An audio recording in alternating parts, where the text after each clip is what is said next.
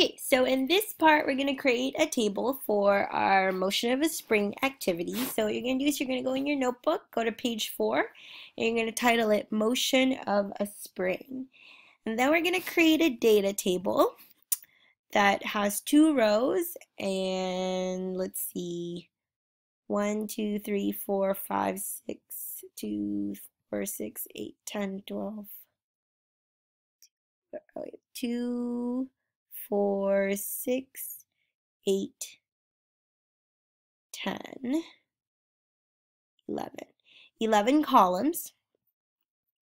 And you're going to put the input is your time in seconds and your output as your position in centimeters.